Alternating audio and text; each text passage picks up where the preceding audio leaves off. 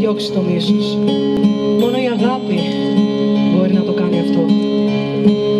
Γιατί οι άνθρωποι σύντροφε ζουν από τη στιγμή που βρίσκουν ο ένας μία θέση στη ζωή του άλλου.